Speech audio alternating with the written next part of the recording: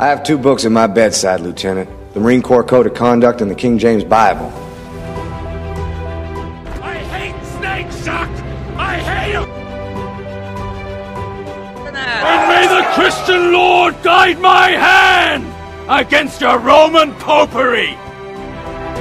And they may take our lives, but they'll never take our freedom! We're on a mission from God entitled You Want Answers! I want the truth! You can't handle the truth! Maybe we should chug on over to Mamby Pamby land where maybe we can find some self confidence for you, you jackwagon! Coming to you live from his padded cell high atop Bethel Church, the most heralded, the most despised talk show in all of human history. This is the talk show Hell Hates. This is Pastor Mike Online.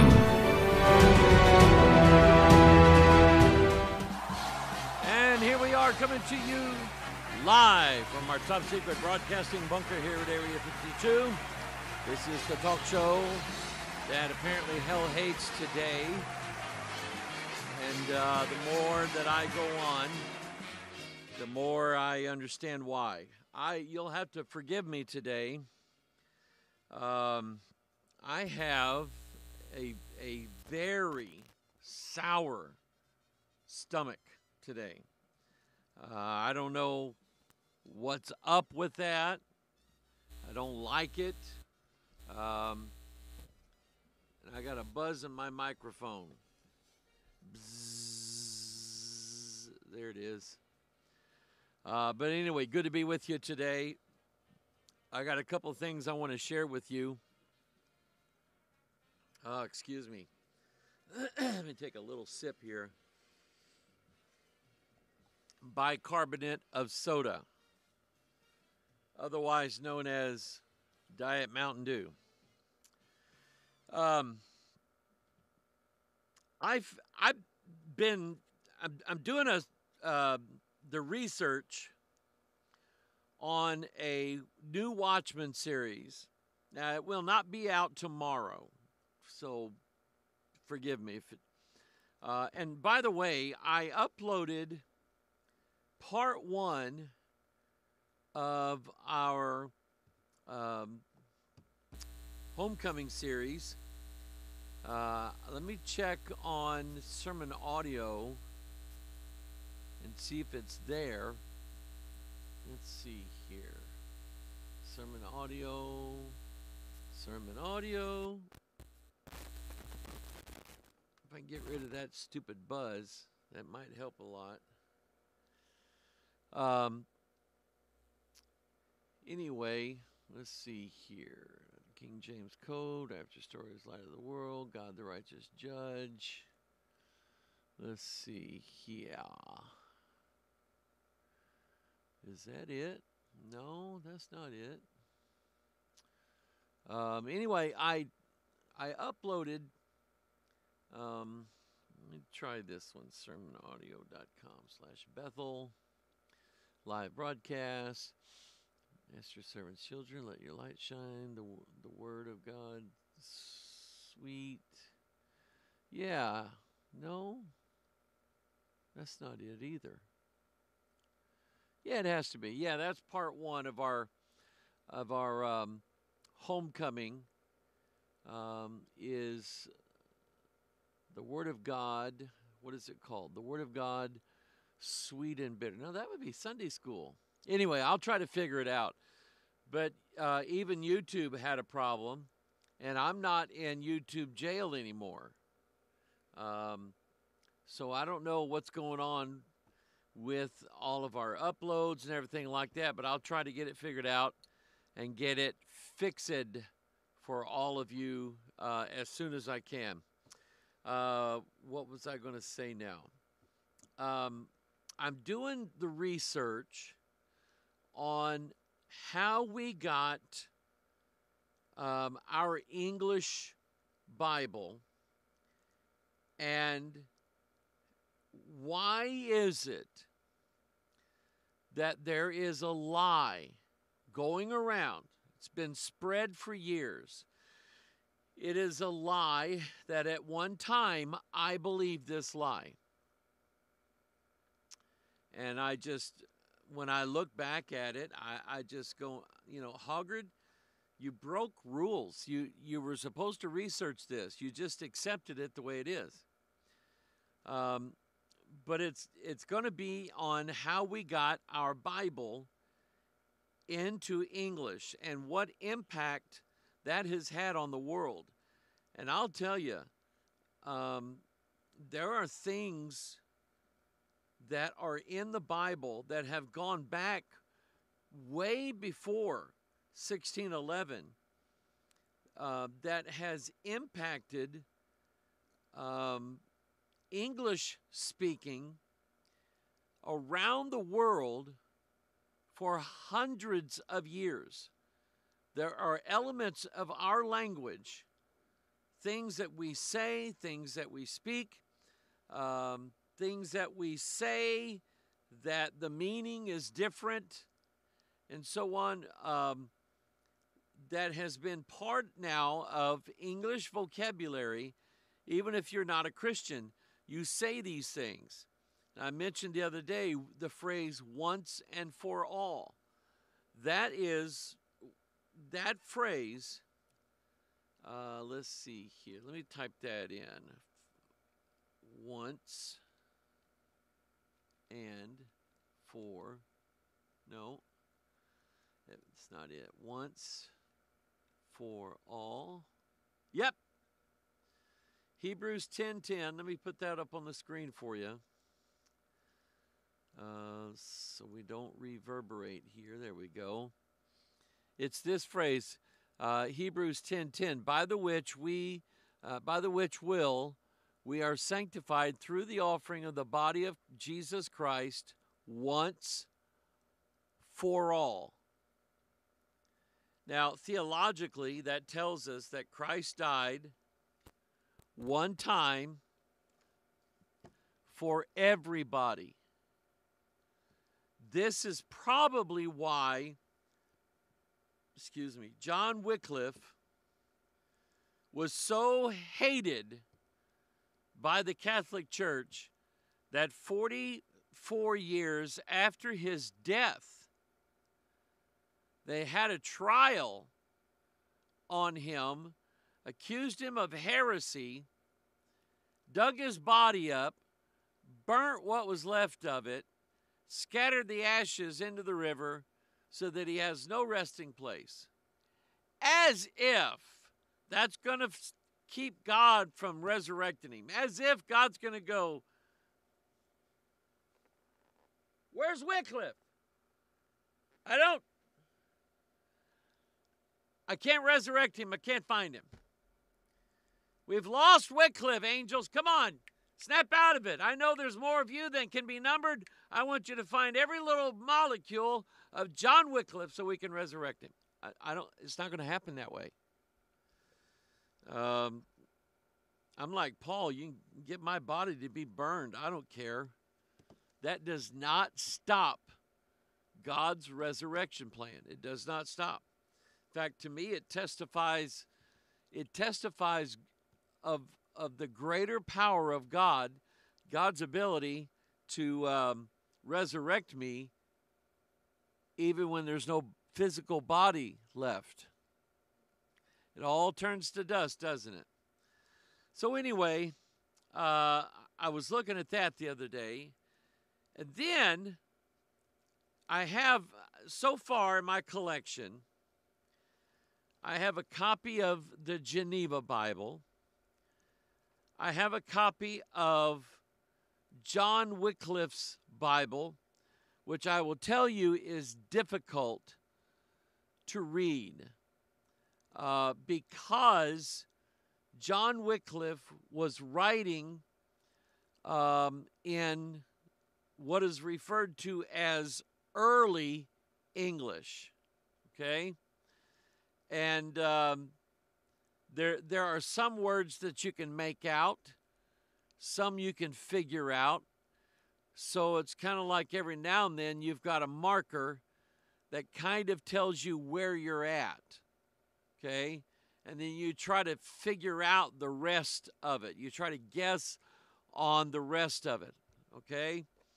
Uh, then I have um, William Tyndale's uh, 1526 New Testament, and I don't I don't know if I mentioned this or not. The the Greek Septuagint.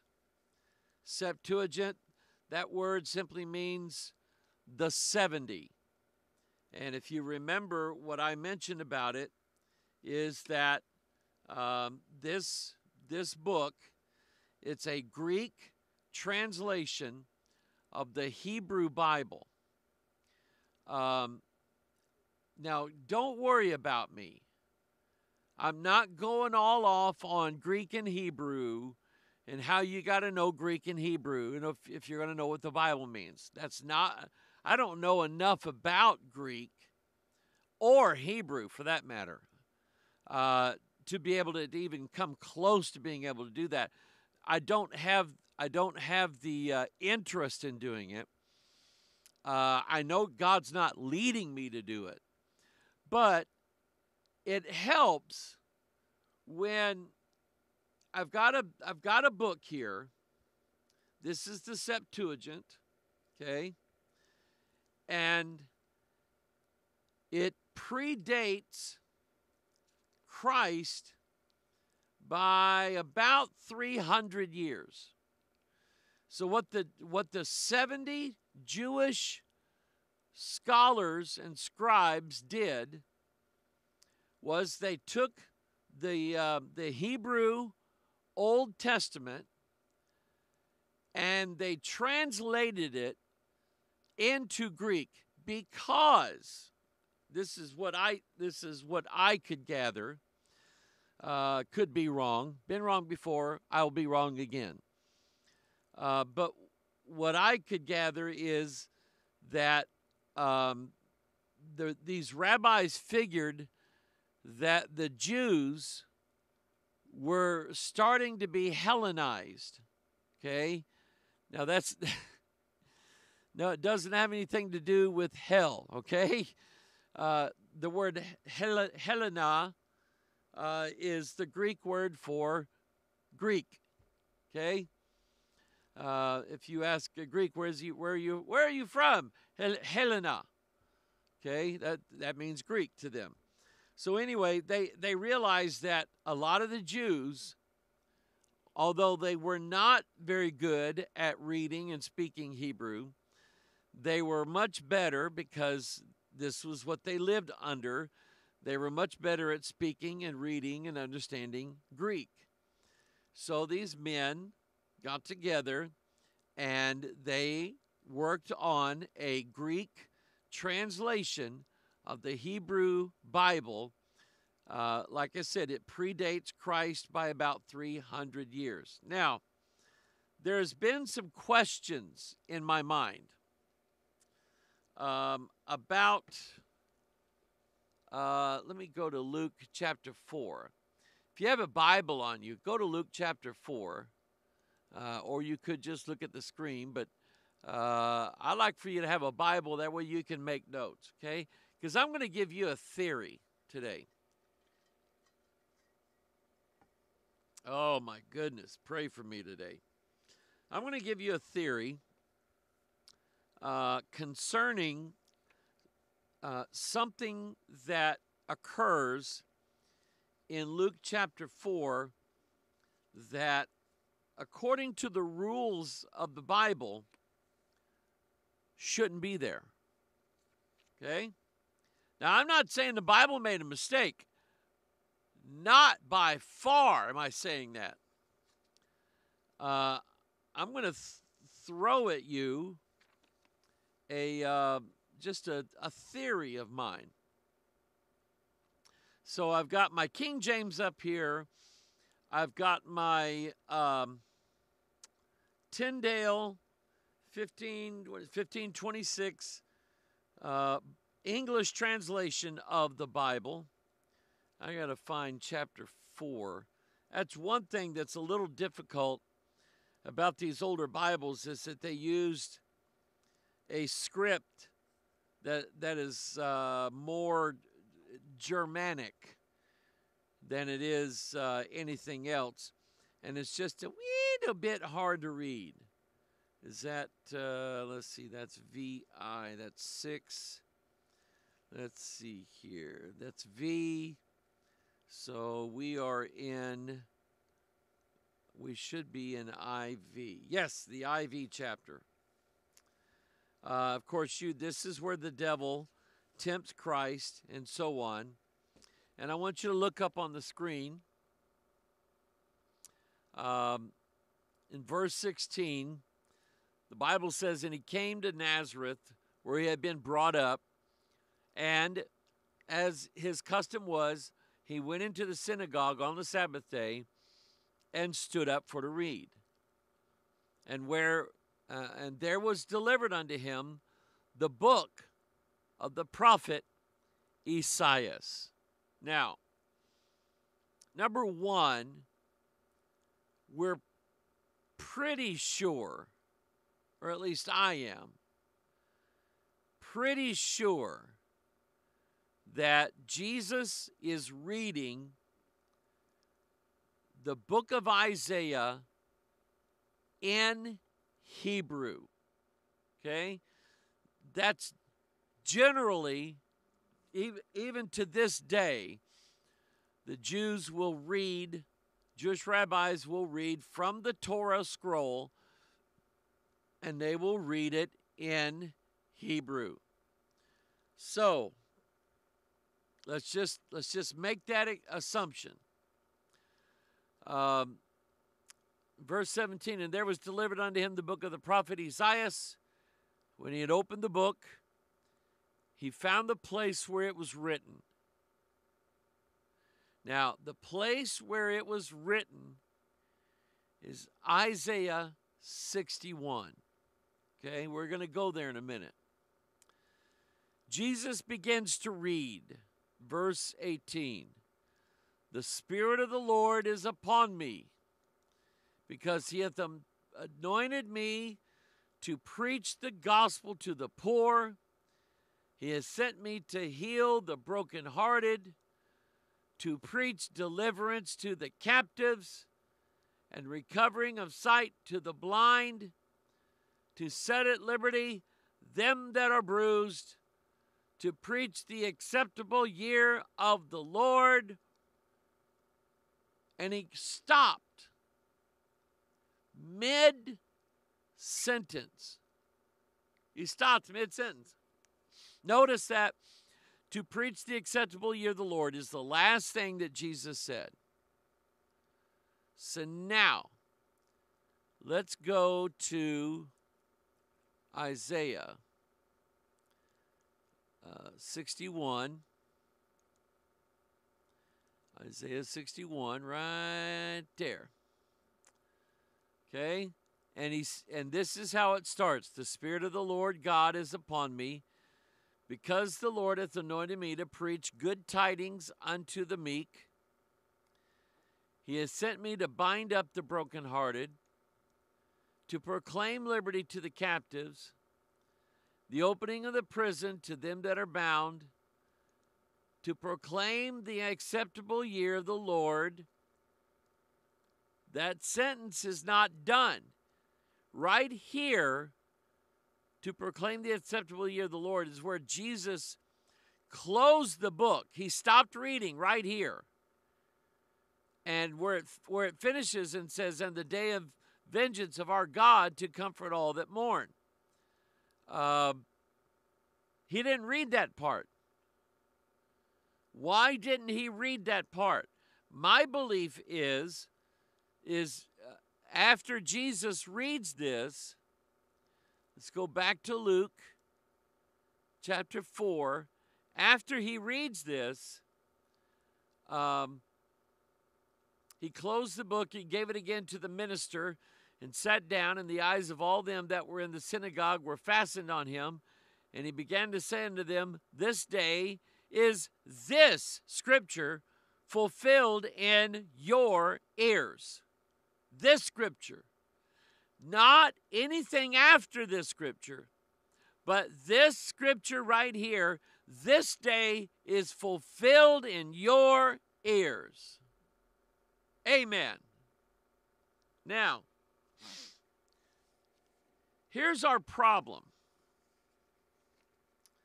Um, I'm going to go back to Isaiah 61. And um, let's see here. Where is it? There you are, hiding from me right there. Isaiah 61. So I'm going to read this from the uh, from the 1526 uh, Tyndale New Testament. Uh, if I can find it, let's see here. Um, that's Herod the Tetrarch. We don't care about Herod the Tetrarch, do we? The Gospel, St. Luke. Am I in the right place? No, I lost my place somehow. In chapter 8. Luke chapter 4. There we go. All right.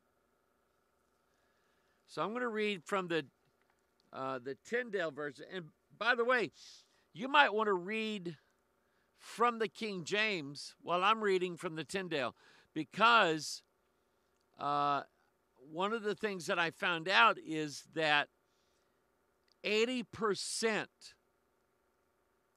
of the Tyndale Bible ended up in the King James. So you're, you're going to have a very, very close reading of the Bible between uh, the time of Tyndale to the time of King James. Um, so there, there, there are no verse markings here.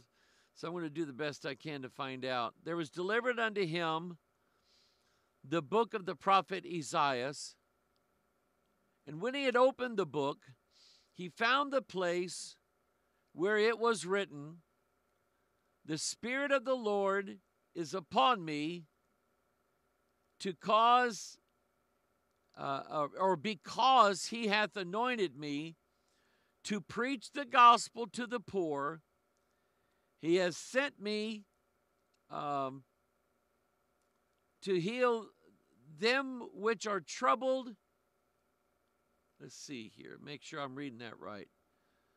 To preach the gospel to the poor, uh, he has sent me, and to heal them which are troubled in their something.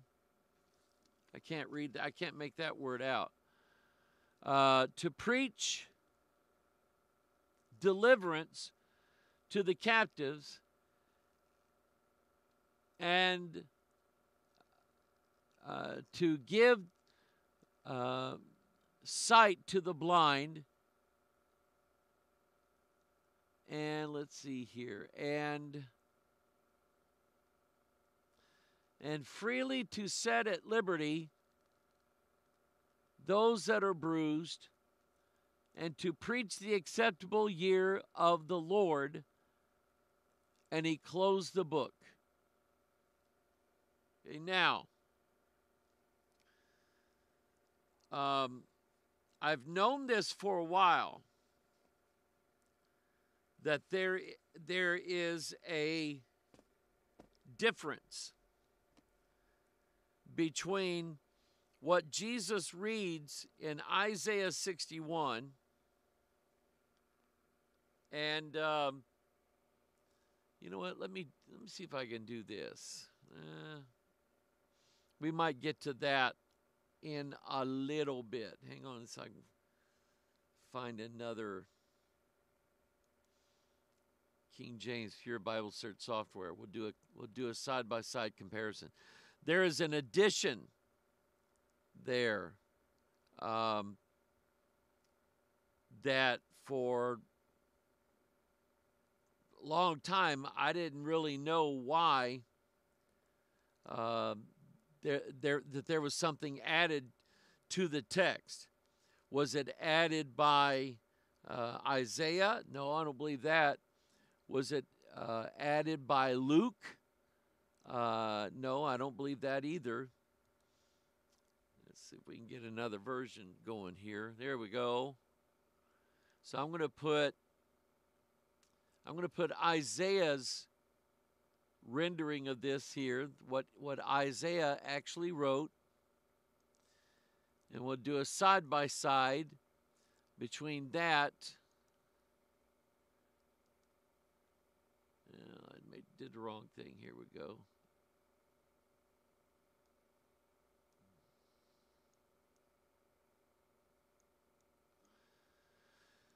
There we go. And we'll do make this one the Mark one. Or excuse me, the Luke chapter 4.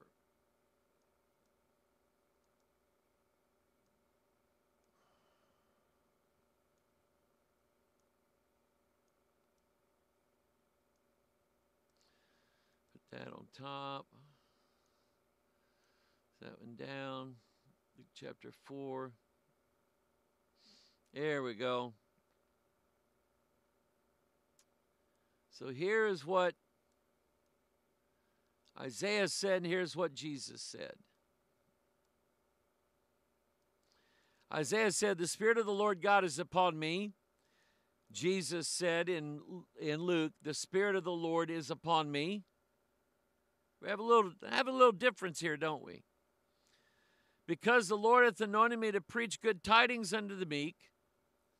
Here he says, uh, because he hath anointed me to preach the gospel to the poor. Then he says, uh, he has sent me to bind up the brokenhearted. Here in Luke, he says, he has sent me to heal the brokenhearted. That could be the same.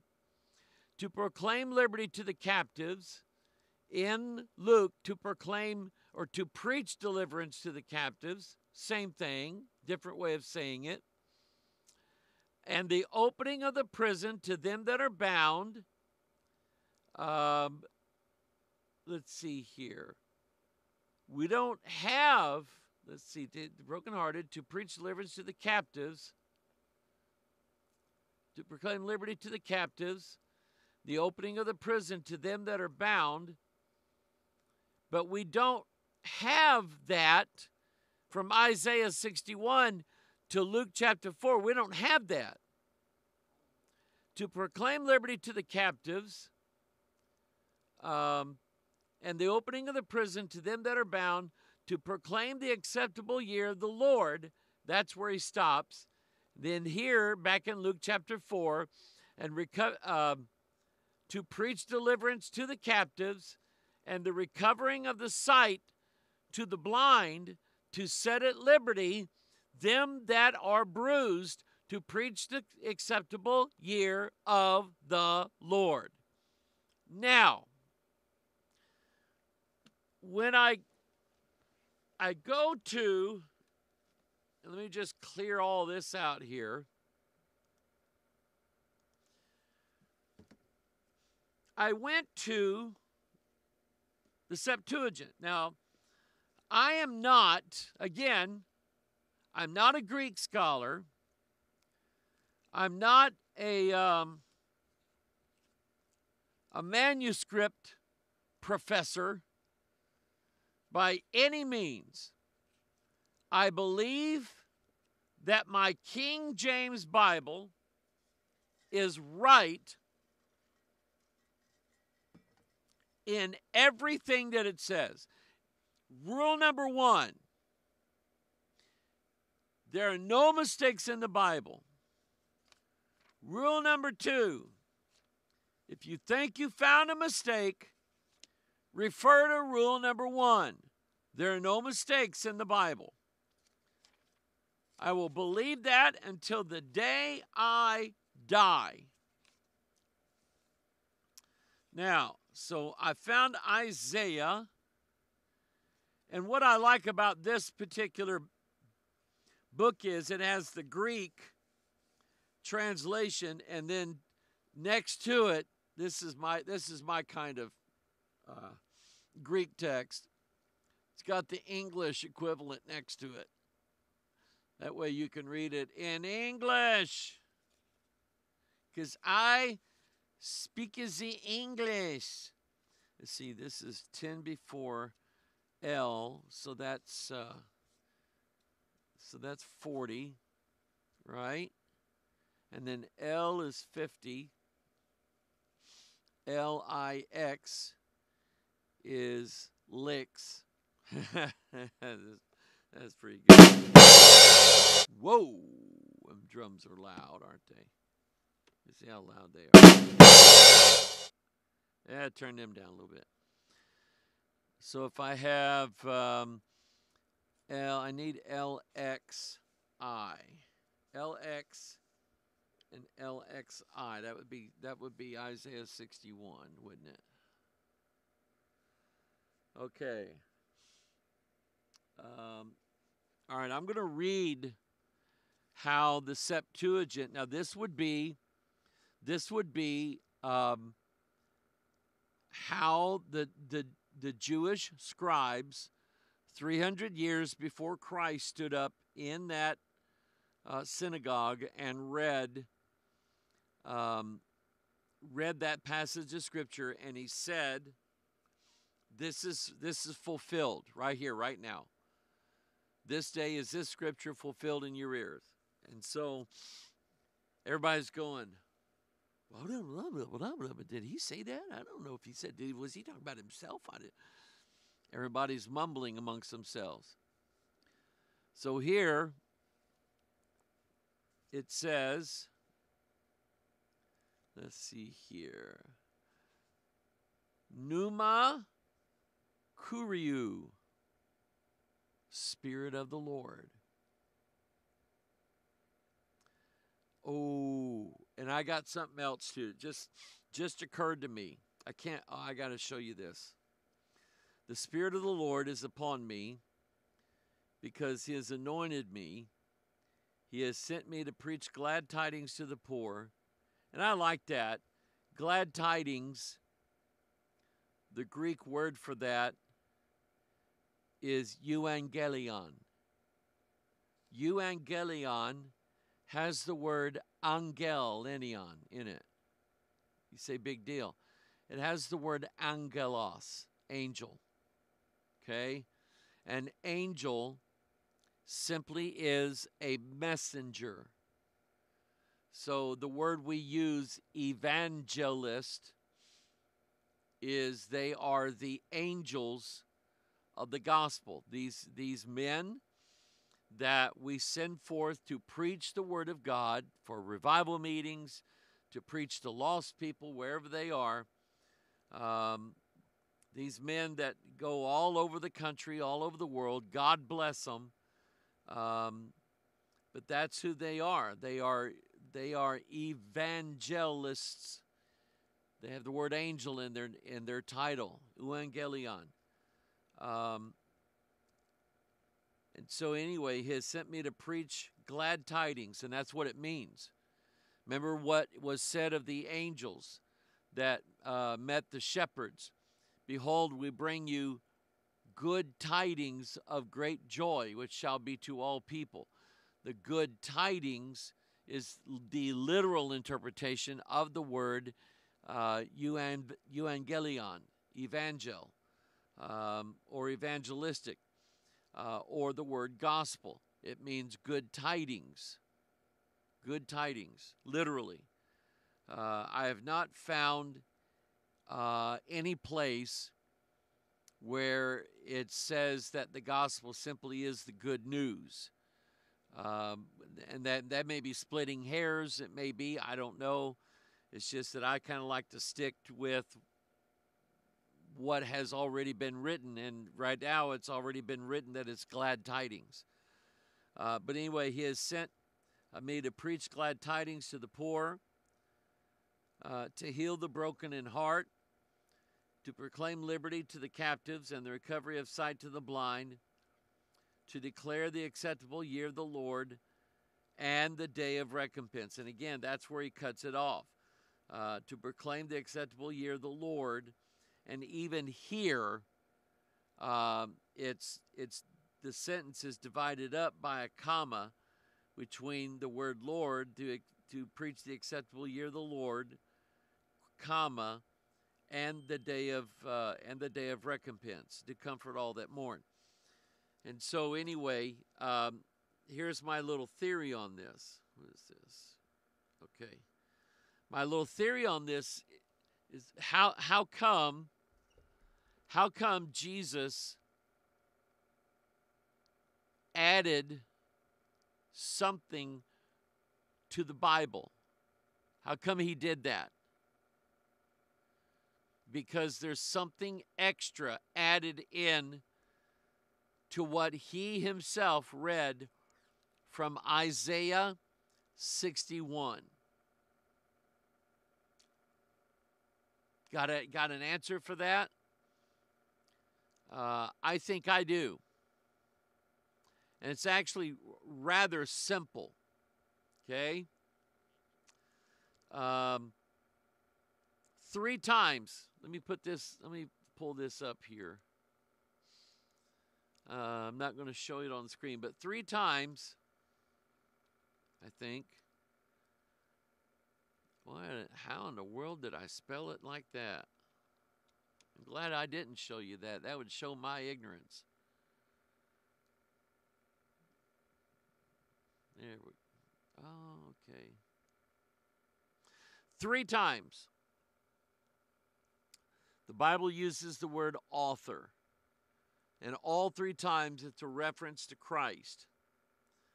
Number one, God is not the author of confusion. So, what God authored is not confusion, and it's not meant to lead us into confusion. Like this quote uh, that I found. Let me. It's in the. It's in the front of um, this reprint of Tyndale's Bible. Uh, let's see here if I can find it real quick there there was this rule that said that if you had in your house even a scrap of a verse of scripture that was not in Latin. So, like if you had made it, late, ladies, if you had made a tapestry to hang in in you know in your room in your house and you had spent years on this tapestry and you decided to put at the bottom just a few words that you had heard out of the Bible, like um, God is love.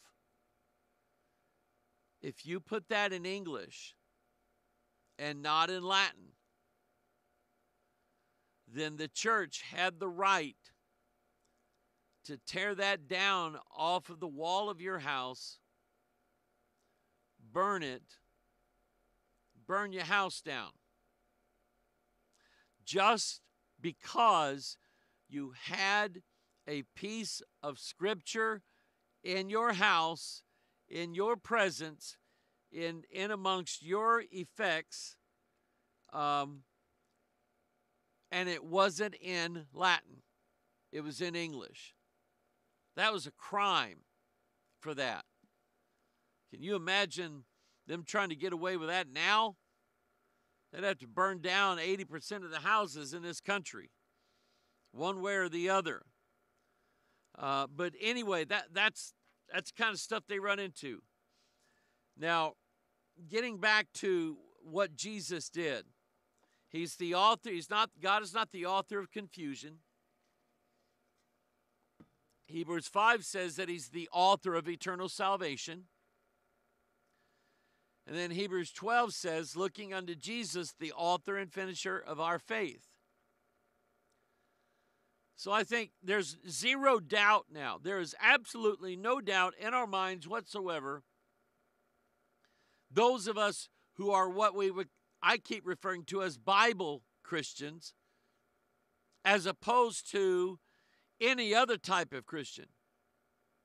A Christian that, oh, I don't know, came forward uh, at the end of a rock concert in the church and had their hands in the air and somebody led a prayer and they all waved like this and all that uh, that person now is saved and and uh, he's going to heaven. It's automatic okay? I'm not talking about anybody like that. I'm talking about somebody who truly believes and reads the Word of God. Um, I think Jesus, if anybody had the right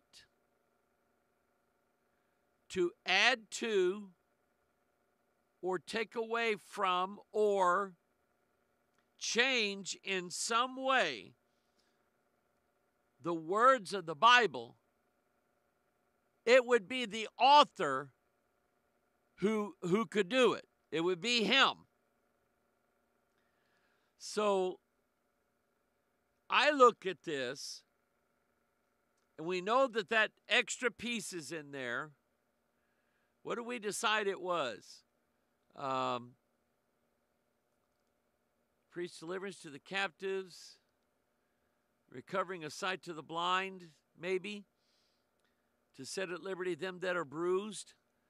Uh, one of those phrases was added as Jesus read it in the synagogue. And then he sits down and he says, This day is this, uh, this scripture fulfilled in your ears. And the people were like, Wow. We're fulfillment of Bible prophecy? Yeah, that's what you are. So anyway, just something to to add hopefully a little delight to your day.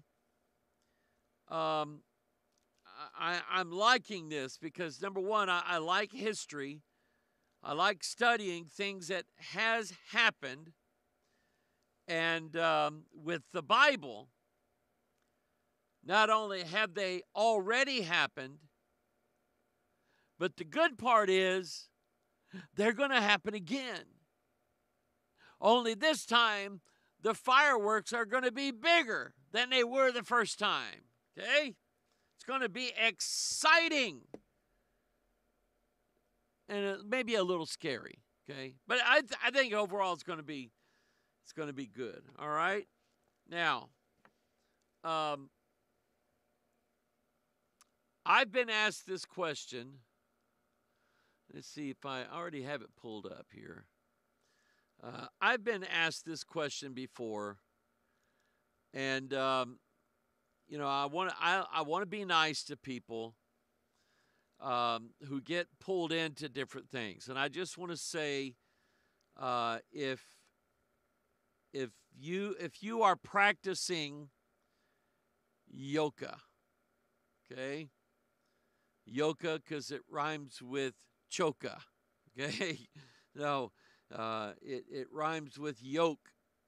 Is what it and it literally means that you are yoking yourself to the the one of the high deities in Hinduism. His name is Brahma. Now, how you can justify that, I don't know. Okay, I mean, I just don't know. Um, if somebody invited me to go to their uh, church get together and said, "Oh, it's just going to be a bunch of games and stuff like that." Uh, it's not. In fact, it's not even going to be at our church. It's going to be at uh, West City Park. That's in here in this Festus. It's going to be at West City Park. Going to have a bunch of stuff out there. Uh, why don't you come on, bring some of the grandkids who got stuff for them? Yeah, I might do that. I get there, I find out that it's the whole thing is in honor of Saint Mary Magdalene. And they brought her statue out. They've got paintings of Saint Mary Magdalene. They got all this stuff where you can pray to St. Mary Magdalene. They give out St. Mary Magdalene medals, all of that, that have been blessed by, by the Papa, by the Pope. Soon as I find that out, I'm out. I'm not hanging around that. I'm not going to be a part of that. I don't care how much fun they have. I don't care if they have a, a, a drawing there, like we did for homecoming, where we gave away a, a family Bible. I don't care if they have a drawing there and they give away a million dollars, and I would have been the guy that won it. I don't care. There's no way in the world that I'm going to something that gives honor to Mary Magdalene as if she is a mediator between men and God, because that's what they believe. That she is a mediator, that you can pray to Saint Mary Magdalene and she will hear your prayers. In fact, whenever there is a papal conclave where uh, all of the cardinals are uh, in procession walking into um, what is that? Saint st peter's basilica is the whole building. Uh, but anyway it's it's the one where michelangelo has uh, god touching adam's finger that room. They're all marching in there and they're chanting this chant Ora pro nobis. And then everybody sings Mary Magdalena. And then the other then then the leader says Ora pro nobis. Um, Sancta Thomas or whatever. All right, I may have gotten it wrong, but Ora pro nobis means pray for us. They, they go through the whole list of saints asking all of the saints of heaven to pray for them as they go in and play politics. Yeah, like God's in that, sure. Anyway, so you're yoked. You're yoked to Brahma when you do yoga. Now, it doesn't happen overnight, I don't think. But you know what? I wouldn't, if I did it once and I found out that it had to do with yoking myself to a false God, to a devil, I don't think I would want to do it again. Okay? I don't think I would. Now, see this graphic up on the screen here. This is about 10 years old. Microsoft will solve cancer within 10 years by reprogramming diseased cells. Chris Bishop, laboratory director at Microsoft Research, said biology and computing have very deep connections on the most fundamental level. Think about that. Think about what we were learning 10 years ago. What we were learning 10 years ago has now been implemented. It's been it's been activated. The program has been running for quite a while now. And you have Microsoft, Google, Apple, Samsung, uh, all of these, um, Yahoo. You've got all of these major tech companies. Amazon's doing it that are involved in reprogramming, rewriting human DNA. It was predicted 10 years ago, and it is happening today. Um, I just thought that was interesting. So, 2 Corinthians 11. And what this is, is, is a false gospel. False gospel. How so, Pastor Mike? Paul said, But I fear lest by any means, as the serpent beguiled Eve through his subtlety, oh, no, no, it's a lot more subtle than that. Through his subtlety. So your mind should be corrupted from the simplicity that is in Christ. For if he that cometh preacheth another Jesus, whom we have not preached, or if you receive another spirit which ye have not received, or another gospel which ye have not accepted, ye might well bear with him. And it's it's pretty simple.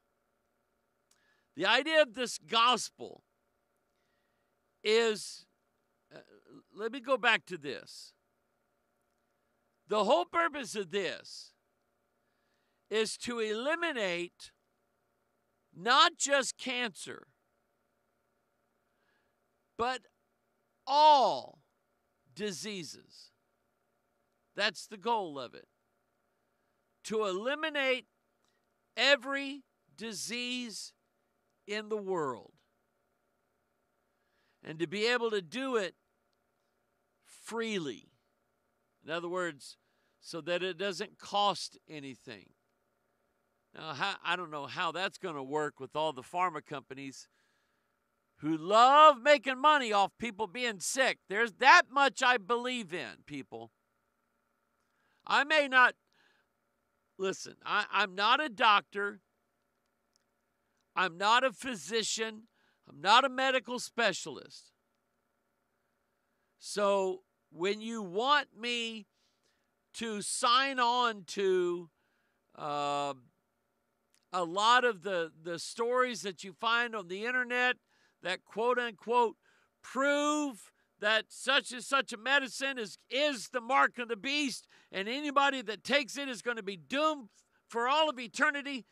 Uh, when you ask me to accept that, forgive me if I don't just dive right into that all at once. I'm not a doctor. And quite frankly, 99% of you people out there are not either.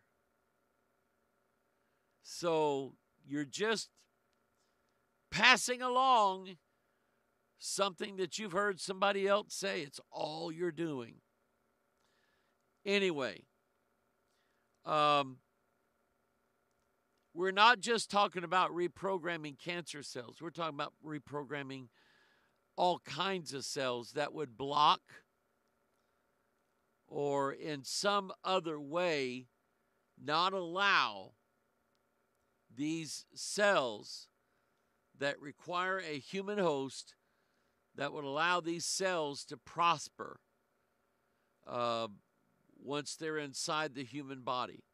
Reprogram the body so that uh, these things would die once they enter the human body. Okay? I mean, that's always a possibility. And yes, I do believe that that could happen.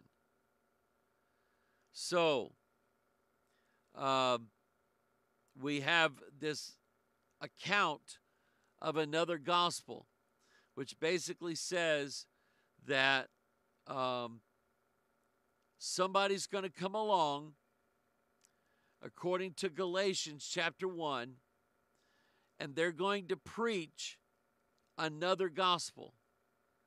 Another, what have we been talking about the last hour? Uh, another, um, another set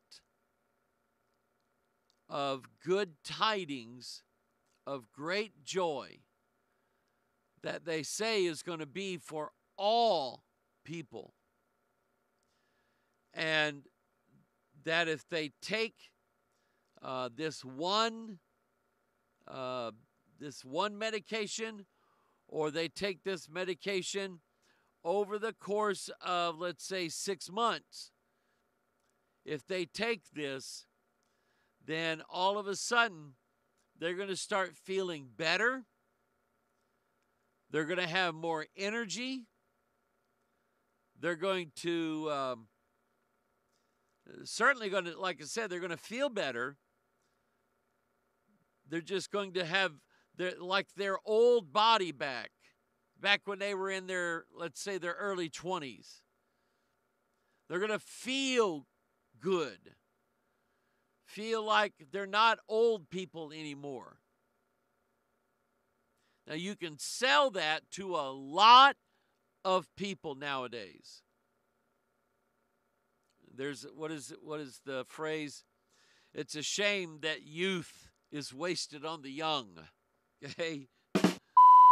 Whoa, I didn't say that word. Honest, I didn't. But it's a shame that youth is wasted on the young. You know, the older you get, the smarter you get about how the world really works. When you're young, you are full of energy, you've got this bulletproof body, and all of this stuff and you can do all of these wonderful things like riding on motorbikes and things like that. But when you get older, man, you're going to break a hip for that, okay? There's no way around it either. So, the other gospel, I believe, has to do with if we were to examine the real gospel first. Um, Let's put it up on the screen here. Which one? There we go. Let's put the real gospel up here. And let's uh, let's use 1 Corinthians 1 5. We'll start using there. It talks about the death, burial, resurrection of Christ. Uh, but then, where in the world am I?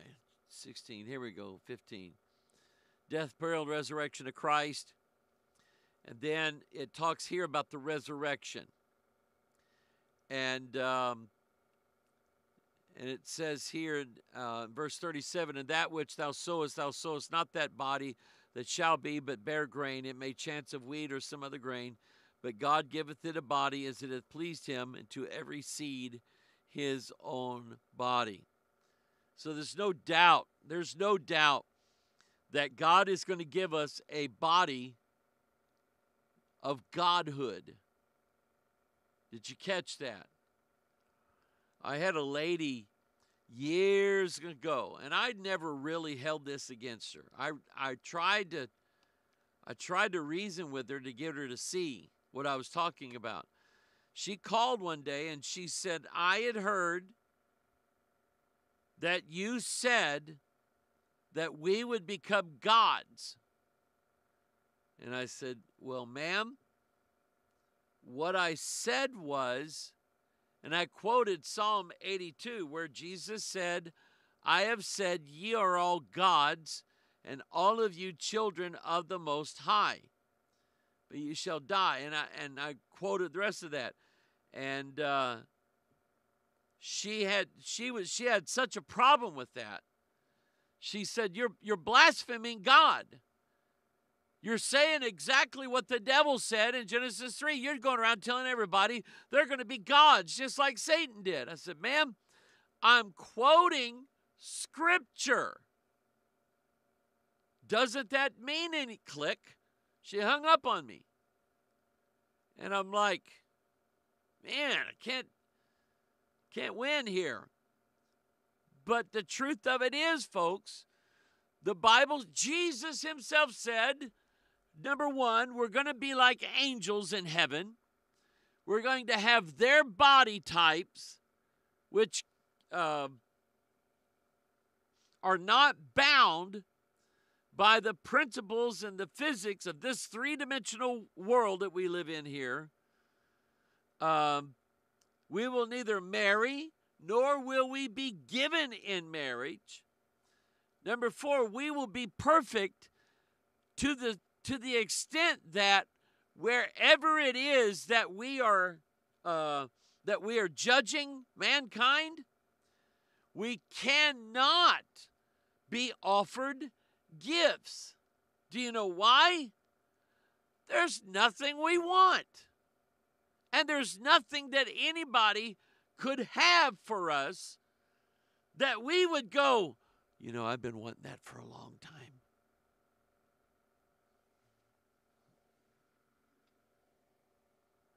Yeah, I'll take that. Hand it over here. I'll rule in your favor. Hand me that. That won't happen. There's not there's nothing that we'll want to eat. There's nothing that we'll want to drink. There's nothing in this world that we want to collect and say this is this is gold. I want to get as much of this as I can. You're talking about pavement in heaven. Um, so anyway, that's what I believe. I believe that we will have angelic bodies.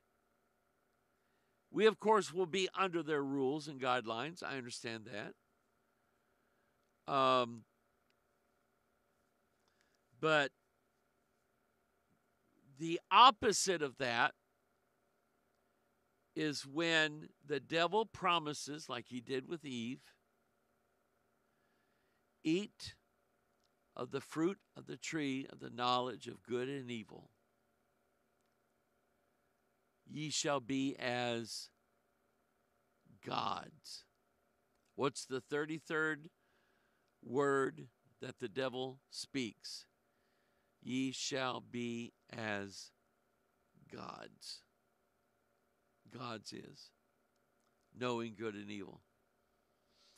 And so anyway, that's the devil's that's the devil's gospel.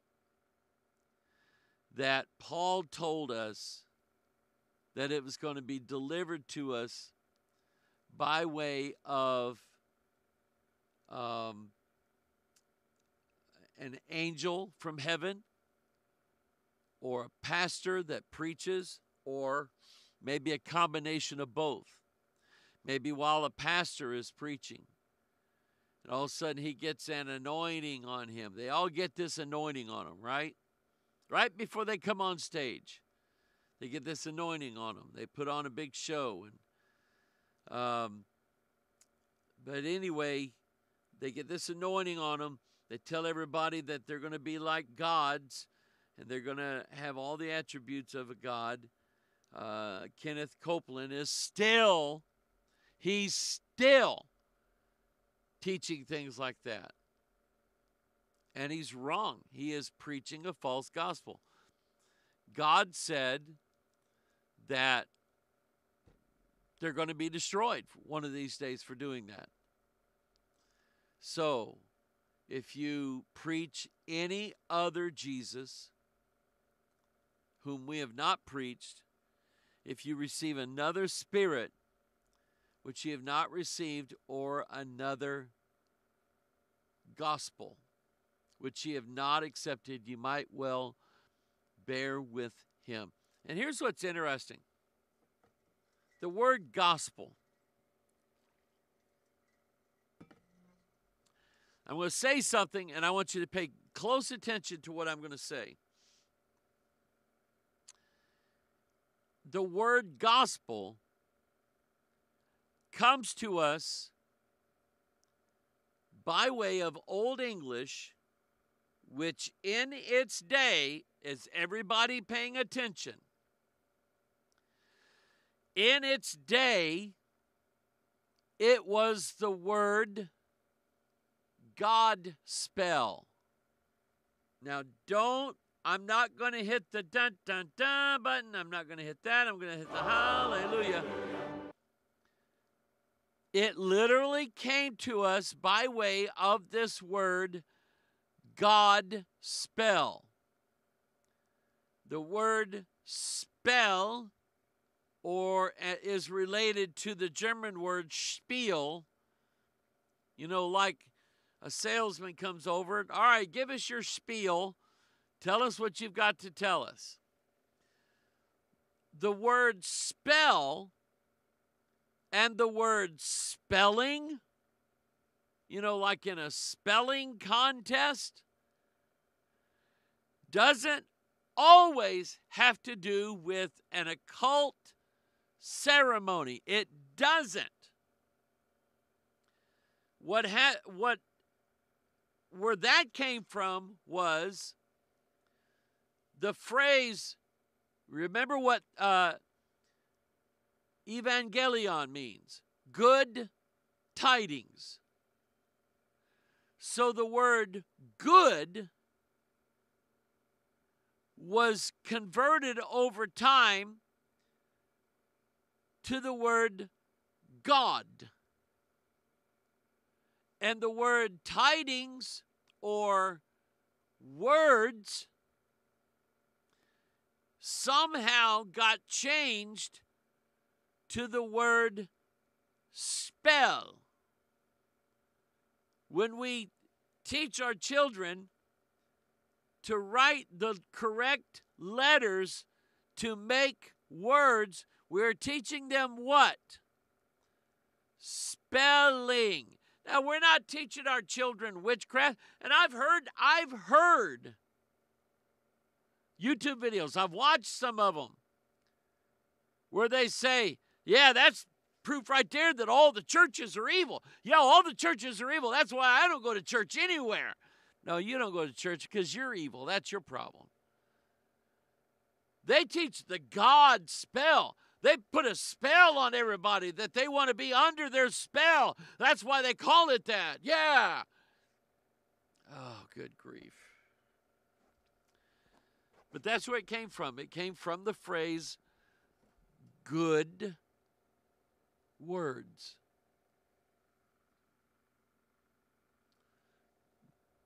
Good words.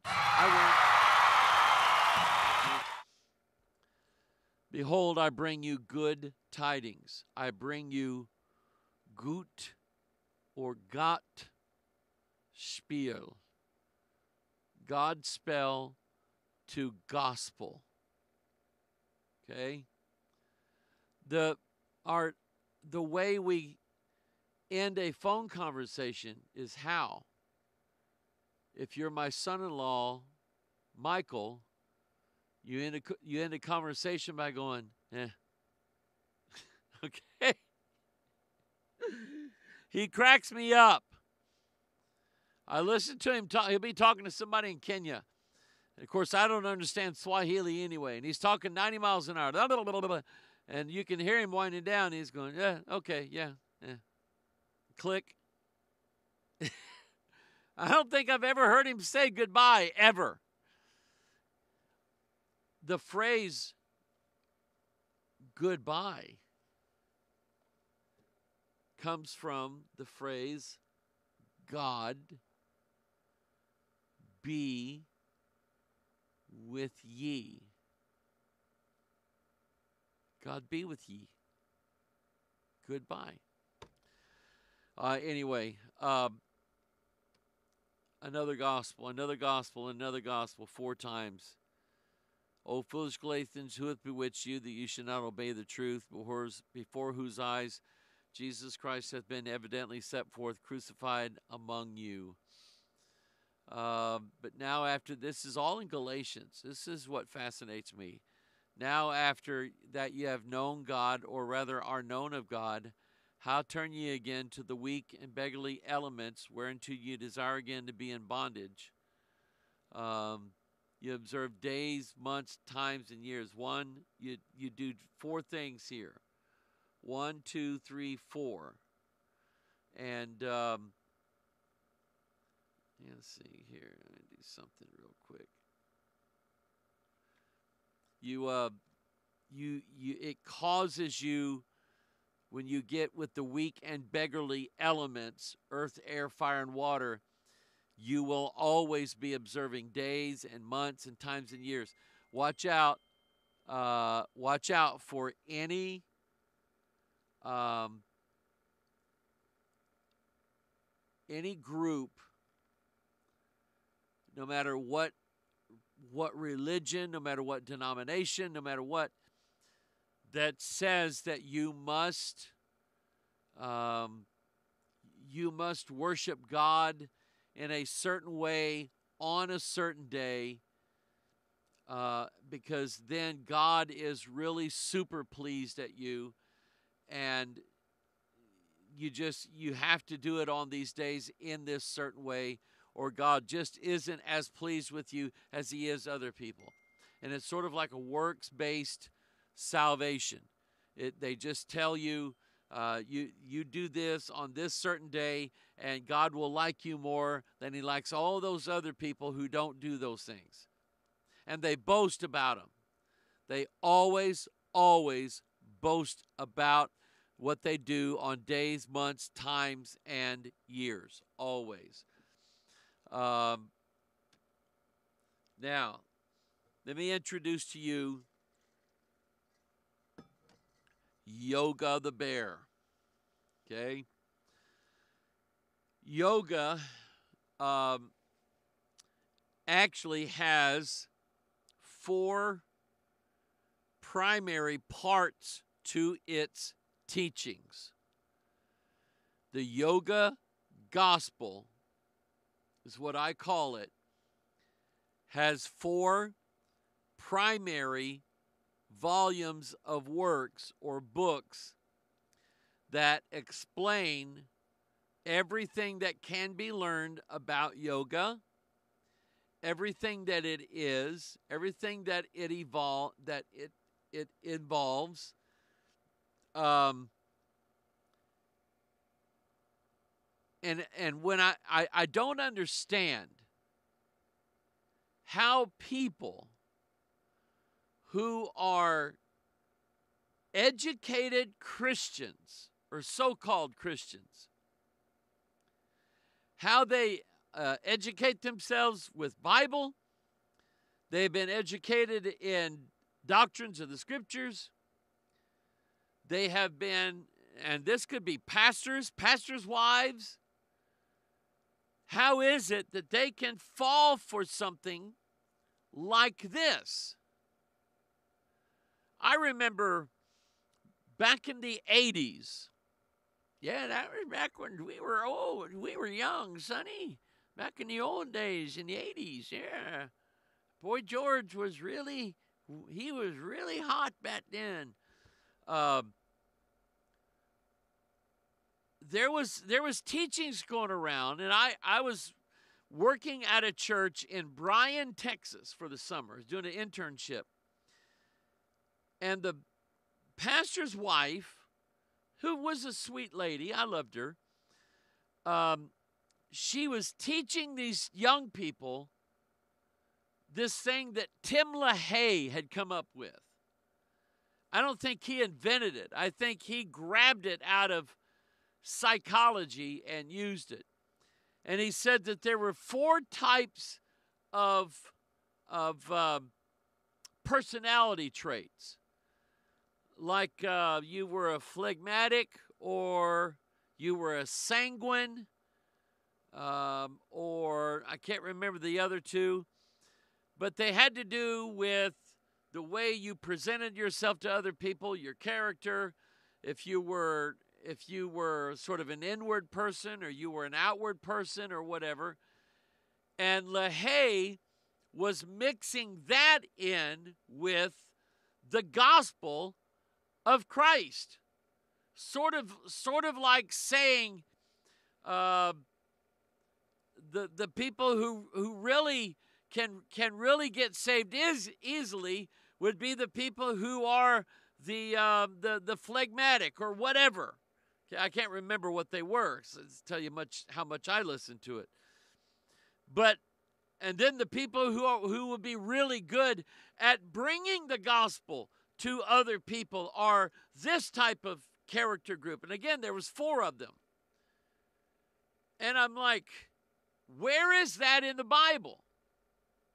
The Bible doesn't give us directions as to who can likely go out and have the biggest success in taking the gospel out from the church out into the streets to talk to people and teach them the way of the cross. The Bible says nothing about that. Bible says, Go ye into all the world and preach the gospel to every living creature, baptizing them in the name of the Father and the Son and the Holy Ghost, teaching them uh, whatsoever I've com- teach them to observe whatsoever I've commanded ye. Jesus said nothing about it. Paul said nothing about it. In fact, Paul said, Paul has planted the seed, Apollos has watered, God brings the increase. Says nothing about your character traits or anything like that. You can look that up online. Uh, look up sanguine and phlegmatic. I think it's P H L E G. You know, like phlegm. You know, like you cough up phlegm or whatever. Uh, and you should be and and cross cross cross that with Tim LaHaye, and you're going to find that. That's really the first time I ever heard about Tim LaHaye, and he did all this before he wrote the uh, Left Behind series. But it basically it it sort of narrowed down preaching the gospel and who would get saved versus who wouldn't get saved. It narrowed it down to a science that could be figured out.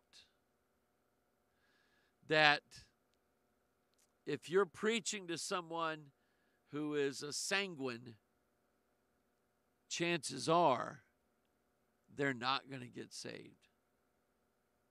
Chances are they're not. You're probably just wasting your time. And that was sort of the way that that was that was pushed all the way back then. Now, by the way, have you ever seen one of these before? It's a stack of stones. Two, three, four, five. There's usually five there. They represent the four primary um, uh, primary forces of earth, wind, fire, and water. And the fifth one on the top represents ether or spirit. Generally the same thing. Uh, think of it like this um, here is uh, your DNA earth, air, fire, and water. Here's your DNA. And here is something from the ether that is being added uh, to the four parts of your DNA. Okay? And just to give you, I'm going to run here in a little bit, but just to give you an idea of where this goes. This is called this. It comes from this book, Components of Yoga.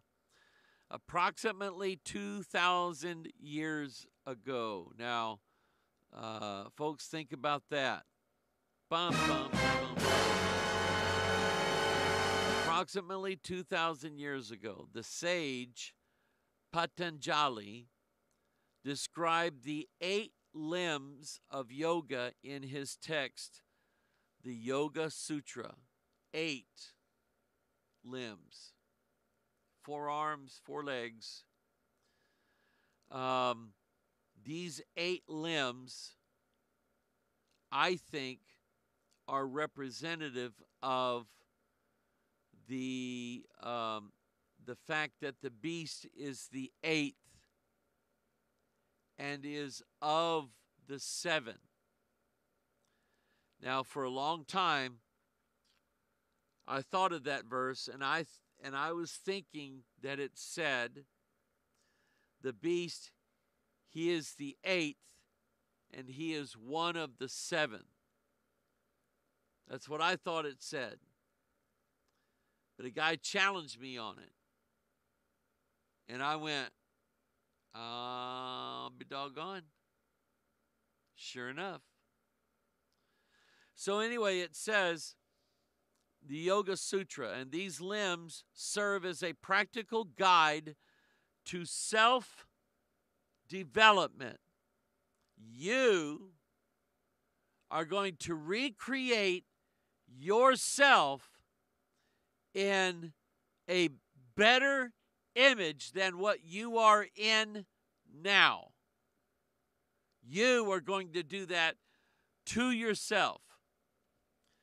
They outline specific lifestyle, hygiene, and detoxification regimens, as well as physical and psychological practices that can lead to integrated personal development. Now, don't get me wrong. This kind goeth not out but by prayer and fasting. And by the way, that's in here, 1526. Prayer and fasting. In fact, there is another Bible. It was one of the first translated Bibles ever. It was translated by a Gothic minister. Uh, he wore black clothes, had black fingernails, and black. Anyway, um, it was translated by a Gothic uh, minister by the name of Ulfilas. And Ulfilas was using the manuscripts that he had at the time. And in both places where all of the modern translations take out prayer and fasting, Ulfilas, the whatever Greek Bible he had, had him in there. So what did he do? He didn't he didn't make a phone call to Rome and say, "Hey, I got a problem here. I, you got your, you know, the the Latin Bible doesn't say anything about prayer and fasting, but this original Greek here does. What do I do? Should I just leave it out? No. He left it in. This kind goeth not out, but by prayer and fasting. And again, that's that's one of the missing uh, verses in most of your new Bibles, the modern translations, what we call them. Um, folks, hi- history history is going to is going to tell us which Bible is right. God is going to use history. He's already done it with me. He will use history on you to convince you that you do, in fact, have the correct Bible. And I'm, I'm thankful. I'm thankful that you do. I am. I'm glad that just about anybody in this world can get a copy, even if they can't get the printed version of the King James Bible. They can download our software, purebiblesearch.com. It's free. And they can download it to their computer. Shh. And they can read the Bible as we have smuggled it into their country. They can read the Bible in English. Oh, praise the Lord. Praise the Lord. Oh, I love it. Uh, thanks for letting me be with you today. You're the reason why we do what we do. Uh, pray for Brother Sterling. I just came from seeing him. Um, let me shut this down for a minute. Uh, I I came over from seeing him this morning. He does seem to look better. Uh, I was pretty pretty concerned Sunday um, that he wasn't going to make it. so, um, but he he does seem to have a lot more pep uh, this morning, and so I appreciate all the prayers uh, that you have uh, sent our way, especially for our family, and just continue them. And I'll keep on giving you updates as to um, his status. He's an incredible man. We love him very much. Uh, we want God's best for him. And uh, so you pray for him as well. All right? All right. God bless you. I love you. We will see you tomorrow.